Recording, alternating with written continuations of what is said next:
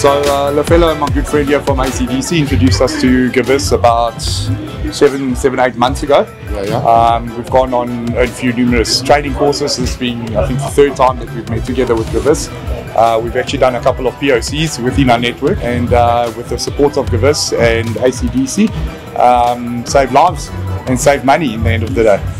Um, we currently sell a huge amount of GEWISS product in our store, and what we have found is that the GEWISS brand is a very reputable brand, a very good product. Um, we hardly ever, if any, uh, get any returns.